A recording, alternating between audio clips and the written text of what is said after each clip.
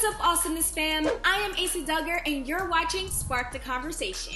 Today is Juneteenth, and everybody is talking about it.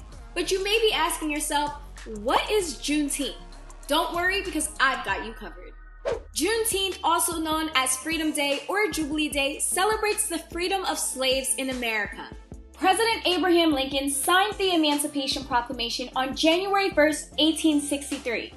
Yet it wasn't enforced until the news reached Galveston, Texas on June 19, 1865, making Texas the last state to abolish slavery in America. Without Juneteenth, inventors like Dr. Gladys West, who invented the GPS, and Garrett Morgan, who invented the traffic light, wouldn't exist. Shout out to Gladys because I can't go anywhere without my GPS. Juneteenth gave birth to black excellence and freedom that has transformed our world today. In 1979, Texas became the first state to declare Juneteenth as an official holiday.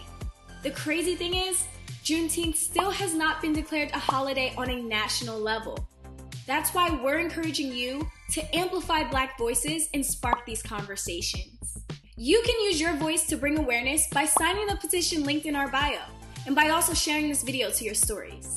I'm Asa Dugger, and you're watching Spark the Conversation.